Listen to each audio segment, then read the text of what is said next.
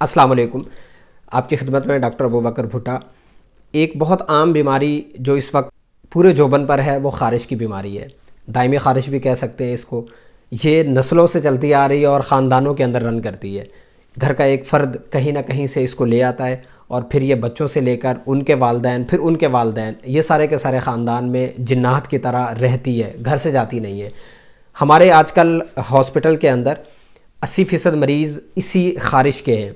इस बीमारी को लेके आते हैं और उनका गिला शिकवा ये होता है कि डॉक्टर साहब, हमने बहुत सारा इलाज कराया है, लेकिन ये बीमारी जा नहीं रही।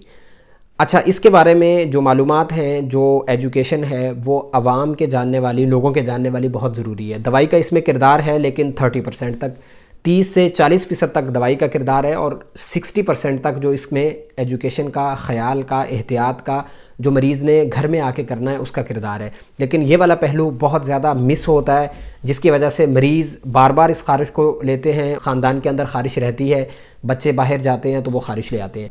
इसमें एक जरासीम होता है, जरासीम का नाम सार्कोप्टिस केबीज़ होता है। ये आम आँख से नज़र नहीं आता। लेकिन ये जरासीम इंसान के जिसम में गारें या घोंसले, ये झोंपड़ियाँ बना कर रहता है।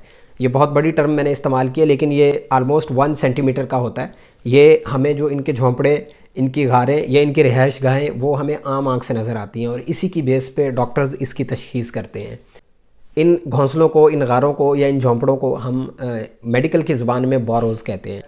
इसकी अलामतों के अंदर दिन के अवकात में ख़ारिश होती है जिसम के ऊपर और वो ख़ारिश रात के वक्त शदीद हो जाती है। बाज़ात नींद नहीं आती बाज़ात इंसान इतनी ख़ारिश करता है कि वहाँ से खून निकल आता है और बाजमात करते हैं। मतलब सारे का सारा ख़ानदान उठता है, बैठता है और ख़ारिश करता है। रात को नींद नहीं आती, क्योंकि ये बीमारी ख़ानदान में है। जरासीम है, ये फैलता किस तरह से है, ये होता किन को है और इसमें एहतियात क्या है और इसका घर में कैसे इलाज कर सकते हैं, ये सारी बातें, सारी वजह आज हम इस वीडियो में देखते हैं। इसमें सबसे ज़्यादा जिन लोगों में ये कॉमन होती है, उनमें बहुत सारे लोग अगर एक ही जगह पे, एक ही रूम में रह रहे हों हॉस्टल में, घर में पॉवर्टी हो डाइट अच्छी ना हो अम्यूनो कम्प्रोमाइज़ हों डायबिटीज़ वगैरह या ऐसी बीमारियाँ हों जिनसे मदाफ़ती निज़ाम कमज़ोर होता है ख़ारिश के साथ जिसम के ऊपर दाने बनते हैं, लेकिन इस बीमारी के अंदर आपका जो चेहरा है वो महफूज रहता है। ये दाने चेहरे के ऊपर नहीं बनते, लेकिन बाकी पूरे जिसम के ऊपर कहीं भी ये दाने बन सकते हैं। इवन पेशाब वाली जगह पे जो इसकी डायग्नोसिस होती है, हम जिसे मतलब तशखीस कहते हैं, वो इसकी माइक्रोस्कोप के नीचे होती है। इसका स्क्रैप लिया जाता है, नमूना लेके। उसमें ये जरासीम ख़ुद भी नज़र आ सकता है। उसके अंडे, इसका फजला यानी फीसिस और इसके रेमनेंट्स बचे खुचे आलात वो इसके अंदर नज़र आ सकते हैं। उसकी बेस पे इसकी तशखीस की जाती है।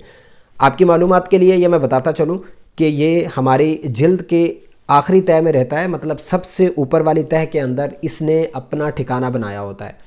और बहुत सारे लोगों को इस जरासीम से खारिज नहीं होती, लेकिन ये जो फजला खारिज करता है, यानी फीसिस खारिज करता है अंडे देता है, उससे बहुत सारे लोगों को एलर्जी होती है। और एलर्जी इतनी शदीद होती है कि बाज़ात सारे के सारे घर वाले बाजमात रात को उठ के खारिज करते हैं।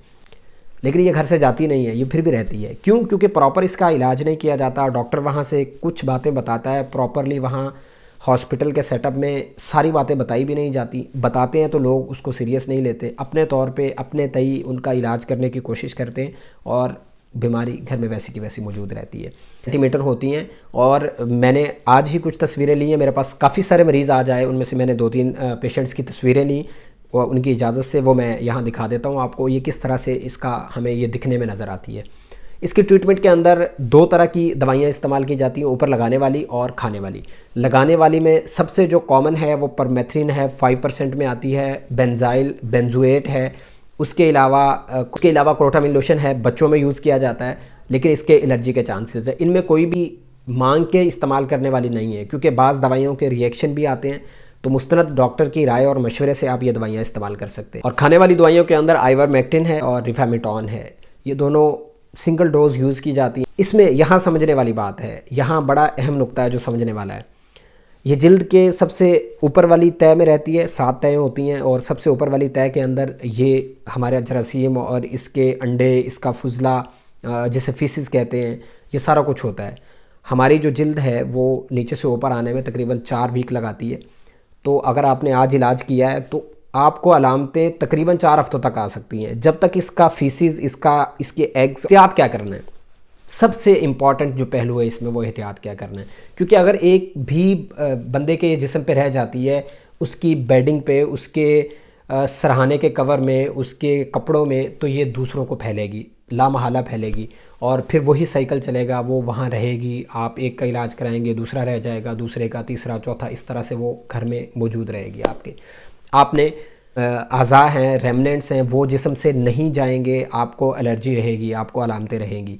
तो अगर आपने एक दफ़ा इलाज करवा लिया है, आपको चार हफ़्ते तक इंतज़ार करके ये देखना है कि आया इसकी अलामतें हैं या नहीं है।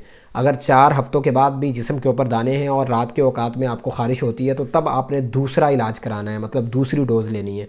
उससे पहले आपको एक इलाज का, जो आप रेगुलर चीज़ें यूज़ कर रहे हैं, उसके अंदर आपके टॉवल्स हैं, आपकी बेडिंग है, आपके सराहने के कवर हैं और आपके कपड़े हैं। आपने इनको धूप में कम से कम दो दिन सुखाना है।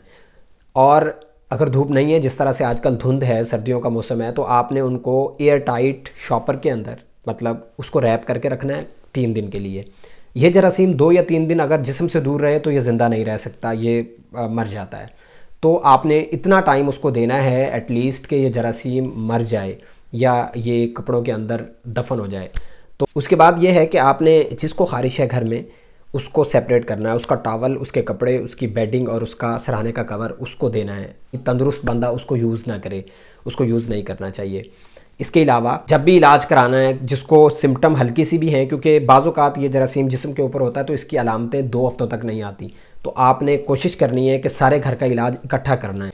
स्केबीज़ है, ये जाती नहीं है। इसको भगाना पड़ता है और उसके लिए ये सारी मेहनत करनी पड़ेगी। ये सारी की सारी चीज़ें बच्चे बच्चे के इलम में होनी चाहिए, इनको हिफज करना चाहिए कि इसका जरासीम है, इसमें अलामतें ये आती हैं, उनका इलाज ये है और एहतियात ये है। उम्मीद है कि आपको पैगाम अच्छा लगा होगा। अगर अच्छा लगा तो इसको शेयर